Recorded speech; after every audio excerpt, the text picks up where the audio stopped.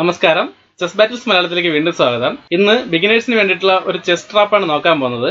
ഇത് വളരെ സിമ്പിൾ ആയിട്ടുള്ള ഒരു ട്രാപ്പാണ് എന്നാലും ഒട്ടുമിക്ക ബിഗിനേഴ്സും ഇതിൽ വീണുപോകാൻ ചാൻസ് ഉണ്ട്. ഈ ട്രാപ്പ് ചെയ്യുമ്പോൾ നമ്മൾ ബ്ലാക്ക് ആയിരിക്കണം. ബ്ലാക്കിന്റെ ഭാഗത്തു നിന്നാണ് ഇത് ചെയ്യുന്നത്. അതുകൊണ്ട് നമുക്ക് ബോർഡ് ഒന്ന് തിരിച്ചു വയ്ക്കാം. ഓക്കെ ഇനി ട്രാപ്പ് എങ്ങനെയാണ് നോക്കാം. ബൈറ്റ് ഇ ഫോർ മൂവ് ചെയ്യുന്നു. ബ്ലാക്ക് ഇ ഫൈവ് ഇത് സാധാരണയായിട്ട് കണ്ടുവരുന്ന ഒരു ഓപ്പണിംഗ് ആണ്.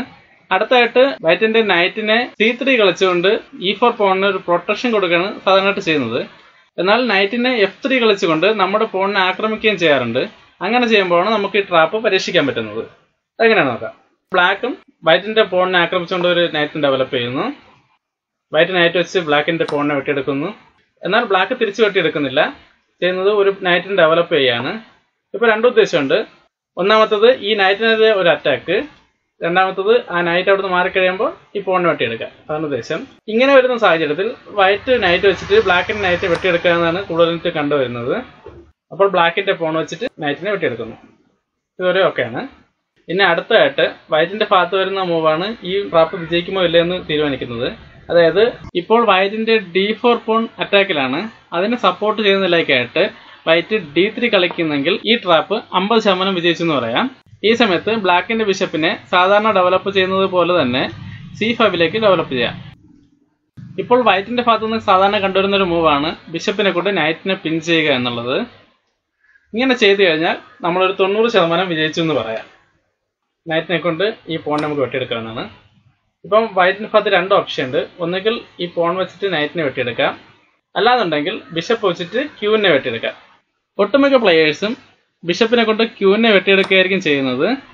അങ്ങനെ ചെയ്യുകയാണെങ്കിൽ നമ്മുടെ ട്രാപ്പ് പൂർണമായിട്ട് വിജയിച്ചു എന്ന് പറയാം. ഇങ്ങനെയാണ് നോക്കാം. ആദ്യം ബിഷപ്പിനെ കൊണ്ട് ഒരു ചെക്ക് ബിഷപ്പിന് നൈറ്റിന്റെ സപ്പോർട്ട് ഉള്ളത് കൊണ്ട് കിങ് വെച്ചിട്ട് വെട്ടാൻ പറ്റൂല. കിങ്ങിന് ഡി സെവനിലേക്ക് മൂവ് ചെയ്യാൻ പറ്റൂല. കാരണം അവിടെ നൈറ്റിന്റെ കാൽ വരുന്നുണ്ട്. ഒരേ ഒരു കുളത്തിൽ മാത്രമേ നീങ്ങാൻ പറ്റുള്ളൂ. ഇ ടൂലേക്ക് മാറുന്നു. ആ സമയത്ത് ബിഷപ്പിനെ ജി ഫോറിലേക്ക് കളിച്ചിട്ട് ചെക്ക് മേറ്റ് ചെയ്യാവുന്നതാണ്. ഇപ്പോൾ കിങ്ങിന് ഒരിടത്തേക്ക് മാറാൻ പറ്റൂല. എല്ലാ കളത്തിലും ബ്ലാക്കിന്റെ കരുക്കളാണ്. ഇവിടെ നൈറ്റ് ഇവിടെ ബിഷപ്പ് ഇവിടെ ബിഷപ്പ് ഇവിടെ ബിഷപ്പ് എല്ലായിടത്തും ബ്ലാക്കിന്റെ കരുക്കൾ വരുന്നതുകൊണ്ട് ഇപ്പൊ ചെക്ക് മേറ്റ് ആയിരിക്കുകയാണ്. ഇനി നമുക്ക് രണ്ടാമത്തെ ഓപ്ഷൻ നോക്കാം.